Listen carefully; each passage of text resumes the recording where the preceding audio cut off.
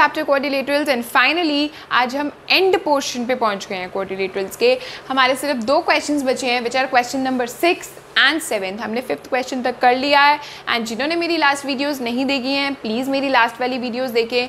आपको लिंक मिल जाएगा डिस्क्रिप्शन में, ठीक है? And please guys do subscribe my channel keep writing in comment section कौन सा चैप्टर करना है, वो भी लिखिए, आपके हिसाब से मैं नेक्स्ट चैप्टर स्टार्ट करवाऊँगी, ठीक है? So we are starting question number six which is show that पहले तो देखो फिगर नहीं गिवन फिगर नहीं गिवन तो हमें खुद बनानी है तो ध्यान से समझो स्टेटमेंट क्या कह रहा है क्वेश्चन का. ये कह रहे हैं कि show that the line segments joining the midpoints of the opposite sides of a quadrilateral. Quadrilateral मतलब कि कोई भी फोर साइडेड फिगर है, कोई प्रॉपर्टी यूज़ नहीं कर सकते पैरेललोग्राम की या इधर उधर से कि ऑपोजिट साइड्स इक्वल हैं या ऑपोजिट साइड्स पैरेलल हैं, कुछ भी नहीं, क्योंकि क्वाड्रिलेटरल गिवन है। तो क्वाड्रिलेटरल तो टेढ़ा मेढ़ा कैसे भी बना दो भाई। ये बना दिया मैंने क्वाड्रिलेटरल चार साइडेड फिगर होती है तो ये हो गया फोर साइडेड फिगर अब क्वाड्रिलेटरल की क्या ज्वाइन करना है? ऑपोजिट साइड्स का मिड पॉइंट्स ऑपोजिट साइड्स कौन सी हुई? एक ये और एक ये. तो मैंने ये पी और आर ले लिए मिड पॉइंट्स और ऑपोजिट साइड्स कौन सी हुई? ये और ये. इसके भी मैंने मिड पॉइंट्स ले लिए. ये मैंने क्यू ले लिया और ये मैंने एस ले लिया. वो बोल रहे हैं कि कोऑर्डिनेटर की ऑपोजिट साइड्स के मिड पॉइंट्स लो. ले लिए. उनसे जो लाइन सेगमेंट बनते हैं, उन मिड पॉइंट्स को ज्वाइन करके जो लाइन सेगमेंट बनते हैं, उन मिड पॉइंट्स को ज्वाइन करके जो लाइन सेगमेंट्स बनते हैं, वो बाइसेक्ट करते हैं, ये प्रूफ करना है। बाइसेक्ट टीच अदर ये प्रूफ करना है। गिवन में क्या है? गिवन में तो है कि P, Q, R and S are the mid points of A B B C C D and D A respectively ये तो गिवन में हो गया। टू प्रूव में क्या हो गया? कि अगर मैं इसको ओ ले लूँ O P is equal to O R and O S is equal to O Q ये मुझे प्रूव करना है। क्योंकि उन्होंने बोला बाइसेक टीचर था तो ये हो गया। ठीक है? अब इसमें मैं एक कंस्ट्रक्शन कर देती हूँ। क्या? Join P Q Q R R S and S P क्या? Join P Q Q R R S and S P अब मेरे को एक बात बताओ। अगर मैं इस पी क्यू आर एस को पैडलोग्राम प्रूफ कर दूँ किसी तरह, ठीक है तो ये जो आर पी और एस क्यू हैं, उस पैडलोग्राम के क्या कहलाएँगे? डायगनल्स कहलाएँगे। एंड वी नो कि पैडलोग्राम के डायगनल्स तो बाइसेक्ट करते हैं ईच अदर ठीक है? तो अगर मैंने पी क्यू आर एस को पैरेललोग्राम प्रूफ कर दिया तो मैं ये बोल सकती हूँ since the diagonals of the parallelogram bisect each other therefore O P is equal to O R and O S is equal to O Q and hence proved हो जाएगा। Right so basically my motive is to prove P Q R S is a parallelogram. Correct जो कि हमने first question में किया है second में किया है थर्ड में किया है, तीनों में किया है। Right right? बस बट उसके लिए हमें एक चीज़ और चाहिए। क्या? हम डायगनल ए को ज्वाइन कर देते हैं। ठीक है? तो यहाँ पर मैं एक और चीज़ लिख देती हूँ। S P and also join A C तो मैंने ए सी को ज्वाइन कर दिया। लाइक like दिस ठीक है? अब हम प्रूफ लिखते हैं। Same to same as we did in first second and third question और हमारा क्वेश्चन हो जाएगा। तो सिर्फ़ और सिर्फ़ इस क्वेश्चन में समझने वाला ये था कि भाई हमें प्रूफ क्या करना है। बाकी प्रूफ तो वही सिंपल सीधा सीधा, साधा वही वाला जो फ़र्स्ट सेकेंड थर्ड क्वेश्चन में किया। क्या? कि इन ट्राइंगल ए पहले उठाते हैं। ए डी सी यहाँ से यहाँ तक। S and R are the mid points of S किसका मिड पॉइंट है डी का? एंड आर किसका मिड पॉइंट है? डी सी का respectively so therefore so by M P T by mid point theorem S R will be parallel to A C and S R will be equal to half of A C जिन बच्चों को समझ नहीं आया, उसके लिए मैं, उनके लिए मैं अलग से ये फिगर बना रही हूँ। ये देखो, ये मेरा ए था, ये मेरा सी था और ये मेरा डी था। ट्राइंगल ठीक है? एस मेरा यहाँ पर था और आर मेरा यहाँ पर था और ये था। ऐसी ही थी फिगर ठीक है? एस इसका मिड पॉइंट आर इसका मिड पॉइंट दो मिड पॉइंट गिवन है तो हम मिड पॉइंट थ्योरम लगाएँगे converse of mid point theorem नहीं लगाएँगे, ठीक है? मिड पॉइंट थ्योरम लगाएँगे तो S and R are the mid points तो therefore S R is parallel to A C and S R is equal to half of A C वही मैंने लिखा है यहाँ पर राइट right? अब in triangle A B C similarly बिल्कुल same to same P and Q are the mid points of P किसका mid point है? ए बी का और क्यू किसका मिड पॉइंट है? बी सी का। A B and B C respectively so by M P T जो P Q होगा वो पैरेलल टू ए सी होगा और जो पी क्यू होगा वो हाफ़ ऑफ़ ए सी होगा। इसको मान लो सेकेंड और इसको मान लो फ़र्स्ट फ़र्स्ट एंड सेकेंड के हिसाब से S R B A C के पैरेलल है पी क्यू भी ए सी के पैरेलल है तो पी क्यू और एस आर आपस में पैरेलल हो गए।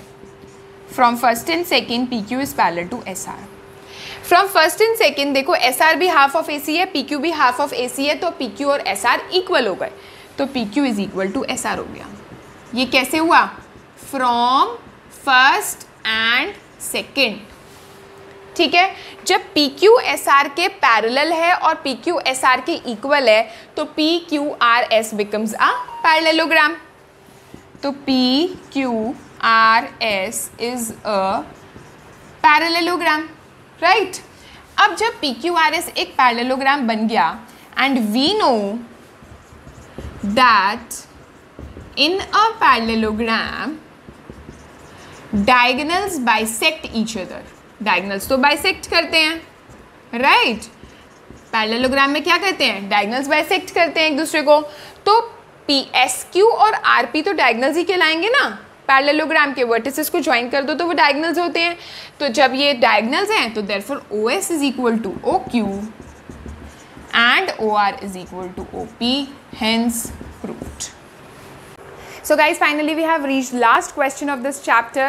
You must be very happy, है ना? चलो this is the question and बहुत मुश्किल नहीं है, बहुत जल्दी हो जाएगा ईजी है क्वेश्चन ठीक है? A B C is a triangle right angled at C that means C तो फिक्स हो गया राइट right एंगल वाली पोजिशन पर। वो हमने बनाते हैं ऐसे, ये देखो, ये हमारा फिक्स हो गया सी ए और बी कहीं भी ले लो तो मैं ए यहाँ पर ले रही हूँ और बी यहाँ पर ले रही हूँ और यहाँ पर हमने राइट एंगल मार्क कर दिया। आगे चलते हैं। A line through the mid point M of hypotenuse A B A B hypotenuse है। हाइपोटेन्यूस ए बी पर एक पॉइंट लेना है एम जो कि मिड पॉइंट लेना है। तो दैट मीन्स मेरा ए एम जो है वो एम बी के इक्वल है। ये मेरा क्वेश्चन है। और गिवन में क्या है मेरे पास? कि जो ए एम है, वो मेरे एम बी के इक्वल है। ठीक है, आगे चलते हैं। अच्छा line through the mid point M mid point M से एक लाइन ड्रॉ करो, जो कि पैरेलल भी हो बी सी के, जो कि पैरेलल भी हो बी सी के, और कहाँ पर जाके मिले? ए सी को डी पर जाके मिले तो ये हमें ए सी को डी पे जाके मिल गई और वो पैरेलल भी हो गई बी सी के। ठीक है? आगे, यहाँ तक तो गिवन वाली चीज़ हो गई तो मैं गिवन में ये भी लिख देती हूँ कि M D is parallel to B C to prove में क्या लिखेंगे हम? Show that D is the mid point of A C यानी ए डी को डी सी के इक्वल प्रूव करना है। Second M D is perpendicular to A C यानी अगर मैं इसको वन और इसको टू ले लूँ तो एंगल वन एंगल टू को नाइन्टी डिग्री प्रूफ करना है, तभी M D is perpendicular to A C होगा right third part C M यानी सी एम कहाँ है? सी एम तो है ही नहीं तो सी एम को ड्रॉ कर लो। चलो। C M is equal to M A C M और एम ए आपस में इक्वल हैं, एक तो ये प्रूव करो। और ये भी साथ में प्रूव करो कि सी एम और एम ए दोनों ही हाफ़ ऑफ़ ए बी है. हाफ़ ऑफ़ ए बी है. भाई ए एम तो हाफ़ ऑफ़ ए बी दिख ही रहा है, क्योंकि एम मिड पॉइंट है तो ए एम भी आधा होगा ए बी का और एम बी भी आधा होगा ए बी का तो ए एम तो हाफ़ ऑफ़ ए बी है ही. तो बेसिकली हमें प्रूफ तो सिर्फ़ यही करना हुआ कि सी एम और ए एम आपस में इक्वल है. जब M A half of A B है तो सी एम भी हाफ़ ऑफ़ ए बी हो जाएगा, क्योंकि हम सी एम को एम ए के इक्वल प्रूफ कर देंगे. करेक्ट चलो. अब हम फ़र्स्ट पार्ट प्रूफ करते हैं. ये हमारा प्रूफ शुरू हो गया. और फ़र्स्ट पार्ट तो बहुत ही ईजी है, जो कि है A D is equal to D C अब देखो। मेरा ये है ट्राइंगल ये रहा। ये मिड पॉइंट गिवन है, ये रहा। ठीक है? जब ये मिड पॉइंट गिवन है और ये भी गिवन है कि ये पैरेलल है इसके तो एक मिड पॉइंट एक पैरेलल लाइन गिवन है। तो कन्वर्स लगेगा या मिड पॉइंट थ्योरम लगेगी? कन्वर्स लगेगा। लगेगा? तो हम क्या लिखेंगे? M mid the midpoint A B which is given. ठीक है? M D is parallel to B C given तो क्या लगेगा? Converse of mid point theorem therefore by converse of M P T D also becomes D is also the mid point of A C therefore A D is equal to D C ये मेरा first part हो गया। सीधा से सीधा converse of M P T लग गई, ठीक है? सेकेंड पार्ट हमें प्रूव करना है कि एंगल वन और एंगल टू मेरे 90 डिग्री के हैं। भाई, जब ये दोनों हमारे पैरेलल हैं तो जो एंगल वन मैंने लिया है, वो एंगल सी के करस्पॉन्डिंग होगा या नहीं? होगा। तो क्या लिखूँगी मैं? M D is parallel to C B given so angle one is equal to angle C corresponding angles होंगे ठीक है? और अगर ये कॉरेस्पॉन्डिंग है, और एंगल सी तो 90 का है बट एंगल सी जो है, वो 90 का है सो एंगल वन भी 90 का हो गया राइट right? और एंगल वन 90 का है, लेकिन angle one plus angle two क्या है? 180 डिग्री लीनियर पेयर तो एंगल टू भी क्या हो गया? 90 का हो गया। तो देर फॉर एंगल टू भी क्या हो गया? 90 का हो गया। तो इसका मतलब जो एम डी है, यानी जो ये है, वो परपेंडिकुलर टू ए सी हो गया। दैट मीन्स मैंने थर्ड पार्ट सेकेंड पार्ट भी प्रूव कर दिया। बचा क्या? सिर्फ़ और सिर्फ़ थर्ड पार्ट प्रूव करना। वो भी हम करते हैं। हमें प्रूव करना है बेसिकली कि सी एम जो है वो एम ए के इक्वल है। यानी ये वाली चीज़, ये वाली चीज़ के इक्वल है। कोई बात नहीं, बहुत ही ईजी है। ये वाला ट्रायंगल और ये वाला ट्रायंगल उठा लेते हैं। क्या? In triangle M D C and triangle M D A देखो ध्यान से, ये वाला ये वाला ट्रायंगल उठाया और ये वाला ट्रायंगल उठाया। D M is equal to D M common दिख रहा है सबको? ठीक है। और हमारा डी तो मिड पॉइंट हमने प्रूव किया था फ़र्स्ट पार्ट में। क्या? A D is equal to D C we have proved above right and also angle one is equal to angle two मैंने सेकेंड पार्ट में प्रूव किया 90 डिग्री ईच ठीक है? कौन सी कॉन्ग्रेंसी लगी? आर एच एस नहीं लगेगी. 90 डिग्री जहाँ देखा आर एच एस लगा दी. नहीं, क्योंकि आर एच एस में H stand for hypotenuse and hypotenuse का यूज़ यहाँ पर नहीं आया. तो यहाँ पर लगेगी S A S therefore by S A S congruency triangle ये M D C is congruent to triangle M D A और जब ये कॉन्ग्रेंट हो गए तो C M is equal to A M by C P C T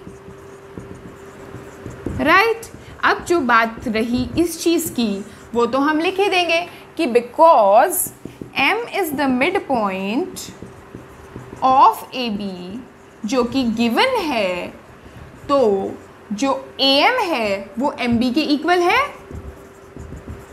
Right right? और जब A M M B के इक्वल है तो ए एम जो है, वो आधा होगा ए बी का? और जब ए एम आधा है ए बी का, और ए एम और सी एम को मैं इक्वल प्रूफ कर चुकी हूँ तो सी एम भी आधा हो गया ए बी का। तो A M is equal to C M is equal to half of A B okay so guys today we have completed this chapter hopefully आपको समझ आया होगा। कोई भी डाउट है, आप में से कमेंट सेक्शन में पूछ सकते हैं। और you can follow my insta account which is maths dot star वहाँ जाके भी आप मुझे डीएम कर सकते हैं किसी डाउट के लिए। Okay so keep watching my channel do subscribe my channel and keep writing in comment section thank you so much bye bye